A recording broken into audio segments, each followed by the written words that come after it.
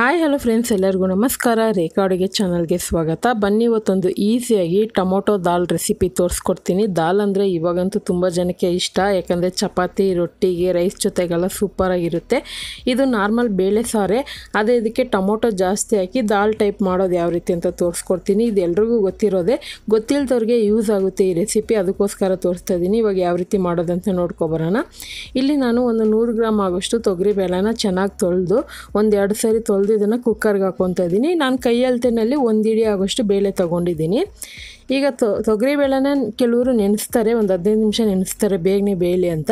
ಆ ಥರನೂ ನೀವು ಮಾಡ್ಕೋಬೋದು. ಈಗ ನಾನು ಇದಕ್ಕೆ ಒಂದು ಈರುಳ್ಳಿನ ಕಟ್ ಮಾಡಿ ಹಾಕ್ಕೊತಾ ಇದ್ದೀನಿ. ಒಂದು ಮೂರು ಹಸಿರು ಮೆಣಸಿನ್ಕಾಯಿನ ಎರಡು ಭಾಗ ಮಾಡಿ ಹಾಕ್ಕೊತಾ ಇದ್ದೀನಿ. ನಿಮಗೆ ಹಸಿಮೆಣ್ಸಿನ್ಕಾಯಿ ಇಷ್ಟ ಇಲ್ಲ ಅಂದರೆ ನೀವು ಬೇರೆ ಖಾರದ ಪುಡಿ ಕೂಡ ಯೂಸ್ ಮಾಡ್ಕೋಬೋದು ಅಥವಾ ಒಣಮೆಣ್ಸಿನ್ಕಾಯಿ ಕೂಡ ಯೂಸ್ ಮಾಡ್ಕೋಬೋದು. ನಾನಿಲ್ಲಿ ಒಂದು ಐದು ಟೊಮೊಟೊನ ಈ ಥರ ಸ್ಲೈಸ್ ಆಗಿ ಕಟ್ ಮಾಡಿ ಹಾಕ್ಕೊತಾ ಇದ್ದೀನಿ. ಟೊಮೊಟೊ ದಾಲ್ ಆಗಿರೋದ್ರಿಂದ ಟೊಮೊಟೊ ಸ್ವಲ್ಪ ಜಾಸ್ತಿ ಹಾಕ್ಕೊತಾ ಇದ್ದೀನಿ.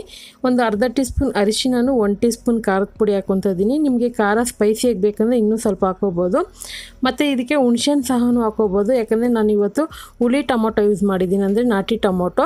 ಸೊ ಅದಕ್ಕೋಸ್ಕರ ನಾನು ಹುಣ್ಸೆಹಣ್ಣು ಯೂಸ್ ಮಾಡಿಲ್ಲ. ನೀವೇನಾದರೂ ಫಾರಮ್ ಟೊಮೊಟೊ ಯೂಸ್ ಮಾಡೋದಾದರೆ ಹುಣ್ಸೆಹಣ್ಣು ಹಾಕ್ಕೊಳ್ಳಿ. ಒಂದು ಗೋಳಿ ಗಾತ್ರದಷ್ಟು.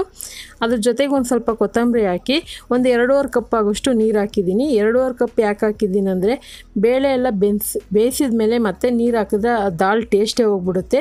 ಈ ಬೇಳೆ ಬೇಯಿಸೋವಾಗ ನಿಮ್ಗೆ ಎಷ್ಟು ಬೇಕಂತ ನೋಡಿ ಹಾಕೊಂಬಿಡಿ. ಹಾಗೆ ಇದಕ್ಕೆ ಒಂದು ಟೀ ಸ್ಪೂನ್ ಅಡುಗೆ ಎಣ್ಣೆ ಇದ್ದೀನಿ. ಹಾಕ್ಕೊಂಡು ಇದನ್ನು ಚೆನ್ನಾಗಿ ಒಂದು ಸಾರಿ ಮಿಕ್ಸ್ ಮಾಡ್ಕೊಳ್ಳೋಣ ಆನಂತರ ಇದನ್ನು ಸ್ಟವ್ ಮೇಲೆ ಇಟ್ಕೊತೀನಿ. ನಾನು ಇವಾಗೆಲ್ಲ ಕೆಳಗಡೆ ಇಟ್ಟು ಮಾಡ್ತಾ ಇರೋದು. ಇದನ್ನೆಲ್ಲ ಚೆನ್ನಾಗಿ ರೆಡಿ ಮಾಡಿ ಮಿಕ್ಸ್ ಮಾಡಿದ್ಮೇಲೆ ಇವಾಗ ಕುಕ್ ಕುಕ್ಕರ್ನ ಸ್ಟವ್ ಮೇಲೆ ಇಟ್ಕೊತೀನಿ. ಇಟ್ಬಿಟ್ಟು ಇದನ್ನು ಮೀಡಿಯಮ್ ಫ್ಲೇಮಲ್ಲಿ ಒಂದು ಮೂರಿಂದ ನಾಲ್ಕು ವಿಸಿಲ್ ಕೂಗಿಸ್ಕೊಳ್ಳಿ. ಕೆಲವೊಂದು ನೀರಲ್ಲಿ ಬೇಳೆ ಬೇಯೋದಿಲ್ಲ ಹಾಗೆ ಇದ್ಬಿಡುತ್ತೆ. ಅಂಥವ್ರು ಒಂದು ಐದು ಐದು ವಿಸಿಲ್ ಬಿಟ್ರೂ ಸಾಕು. ನಾನು ಮಿನಿಮಮ್ ಆದರೂ ಒಂದು ನಾಲ್ಕು ವಿಸಿಲ್ ಬಿಟ್ಟು ಆನಂತರ ಸ್ಟವ್ ಆಫ್ ಮಾಡಿ ಪೂರ್ತಿ ಗ್ಯಾಸ್ ರಿಲೀಸ್ ಆಗಬೇಕು. ತಕ್ಷಣ ತೆಗಿಯೋಕೆ ಹೋಗಬೇಡಿ. ಹಾಗೆ ತಕ್ಷಣ ತೆಗಿಯೋದಾದರೆ ಇನ್ನೂ ಒಂದು ವಿಸಿಲ್ ಎಕ್ಸ್ಟ್ರಾ ಬಿಟ್ಕೊಳ್ಳಿ. ಈಗ ನೋಡಿ, ಒಂದು ನಾಲ್ಕು ವಿಸಿಲ್ ಆದಮೇಲೆ ಗ್ಯಾಸೆಲ್ಲ ರಿಲೀಸ್ ಆಗಿದೆ. ಈಗ ಓಪನ್ ಮಾಡಿ ತೋರಿಸ್ತೀನಿ ನಾನು. ತುಂಬಾ ಕಲರ್ಫುಲ್ಲಾಗಿ ಚೆನ್ನಾಗಿರುತ್ತೆ. ಹುಳಿ ಟೊಮೊಟೊ ಹಾಕಿರೋದ್ರಿಂದ ಒಂದು ಸ್ವಲ್ಪ ಹುಳಿ ಹುಳಿ ಆಗಿರುತ್ತೆ. ನಿಮಗೆ ಹುಳಿ ಬೇಡ ಅಂದರೆ ನಾನು ಹೇಳ್ದಂಗೆ ನೀವು ಫಾರ್ಮ್ ಟೊಮೊಟೊ ಕೂಡ ಯೂಸ್ ಮಾಡ್ಕೋಬೋದು. ಈಗ ನೋಡಿ ಇದು ಚೆನ್ನಾಗಿ ಬೆಂದಿದೆ. ಈಗ ಇದನ್ನು ಸೌಟಿಂದನೇ ಚೆನ್ನಾಗಿ ಈ ಥರ ನೀವು ಮಸ್ತ್ಕೋಬೋದು ಅಥವಾ ಬೇಳೆ ಮಸಿಯೋದ್ರಲ್ಲಿ ಕೂಡ ಮಸ್ತ್ಕೋಬೋದು. ಇಲ್ಲಿ ಹಸಿಮೆಣ್ಸಿನ್ಕಾಯಿ ಹಾಕಿದ್ದೀರಲ್ಲ, ಅದರಲ್ಲೂ ಖಾರ ಇರುತ್ತೆ. ಖಾರದ ಪುಡಿನೂ ಹಾಕ್ಕೊಂಡಿದ್ದೀರಿ ಸೊ ಅದು ಖಾರ ಇರುತ್ತೆ. ಒಗ್ಗರಣೆಗೂ ಒಣಗಿದ ಮೆಣಸಿನ್ಕಾಯಿ ಯೂಸ್ ಮಾಡ್ತೀರಿ. ಅದನ್ನು ನಿಮ್ಗೆ ಎಷ್ಟು ಬೇಕೋ ನೋಡಿ ಹಾಕ್ಕೊಳ್ಳಿ ಈಗ ಇದನ್ನು ಜಸ್ಟ್ ಈ ಥರ ಒಂದು ನಾಲ್ಕೈದು ಸರಿ ಪ್ರೆಸ್ ಮಾಡ್ಕೊತೀನಿ. ಪೂರ್ತಿ ನುಣ್ಣಗೆ ಮಾಡೋಕ್ಕೆ ಹೋಗಬೇಡಿ. ಅದು ಬೇರೆ ಥರ ಆಗ್ಬಿಡುತ್ತೆ ಟೇಸ್ಟು ಸುಮ್ಮನೆ ಜಸ್ಟ್ ಹಾಗೆ ಪ್ರೆಸ್ ಮಾಡ್ಕೊಳ್ಳಿ. ಹಾಗೆ ರುಚಿಗೆ ತಕ್ಕಷ್ಟು ಉಪ್ಪು ಹಾಕೊತ ಇದ್ದೀನಿ ಮತ್ತು ಈ ಥರ ನೀವು ಮಸ್ತದ ಮೇಲೆ ಇದನ್ನು ಕುಕ್ ಕುಕ್ಕರ್ನ ಸ್ಟವ್ ಮೇಲೆ ಇಟ್ಟು ಒಂದು ಎರಡು ನಿಮಿಷ ಕುದಿಸ್ಬಿಟ್ಟು ಒಗ್ಗರಣೆ ಹಾಕೋಬೋದು. ಅದನ್ನು ನಾನು ಹಾಗೆ ಒಗ್ಗರಣೆ ಹಾಕಿ ಬಿಟ್ಬಿಡ್ತೀನಿ. ಆವಾಗ ಅದು ಇನ್ನೂ ಚೆನ್ನಾಗಿರುತ್ತೆ. ಈ ಒಗ್ಗರಣೆಗೆ ಒಂದು ಎರಡು ಟೀ ಸ್ಪೂನ್ ಎಣ್ಣೆನೂ ಒಂದು ಎರಡು ಟೇಬಲ್ ಸ್ಪೂನ್ ತುಪ್ಪ ಹಾಕ್ಕೊಂಡಿದ್ದೀನಿ ಎರಡು ಚೆನ್ನಾಗಿ ಫ್ರೈ, ಬಿಸಿ ಆದಮೇಲೆ ಇದಕ್ಕೆ ಒಂದು ಅರ್ಧ ಟೀ ಸ್ಪೂನ್ ಸಾಸಿವೆ, ಅರ್ಧ ಟೀ ಸ್ಪೂನ್ ಜೀರಿಗೆ ಹಾಕ್ಕೊತಾ ಇದ್ದೀನಿ.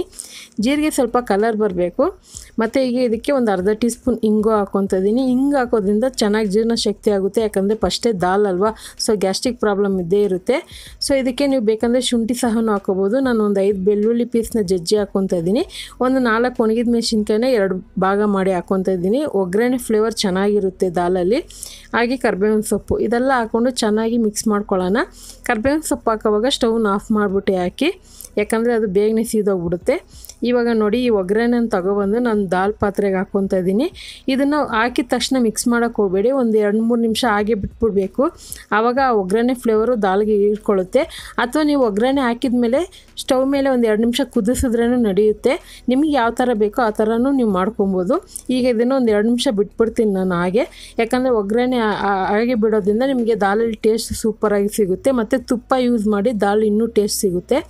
ಈಗ ಒಂದು ಎರಡು ನಿಮಿಷ ಬಿಟ್ಟು ಓಪನ್ ಮಾಡಿ, ನೋಡಿ, ನೋಡೋಣ. ನೋಡಿ ಇವಾಗ ಒಂದು ಎರಡು ನಿಮಿಷ ಆಗಿದೆ. ಇದನ್ನು ನೀವು ಇಡ್ಲಿಗೆ, ದೋಸೆಗೆಲ್ಲ ಮಾಡೋದಾದರೆ ಸ್ವಲ್ಪ ತೆಳ್ಳಗೆ ಮಾಡ್ಕೊಳ್ಳಿ. ಅದೇ ನೀವು ಚಪಾತಿ, ರೋಟಿ, ಮತ್ತು jeera rice, normal white rice ಆ ಥರದಕ್ಕೆಲ್ಲ ಬೇಕಂದರೆ ಈ ಥರ ದಾಲ್ ಎಷ್ಟು ತಿಕ್ನೆಸ್ ಇದೆ ಅಂತ ನಿಮಗೆ ಗೊತ್ತಾಗ್ತಾ ಇದೆಯಲ್ಲ ಸೊ ಇಷ್ಟು ತಿಕ್ನೆಸ್ ಇದ್ದರೆ ಸಾಕು.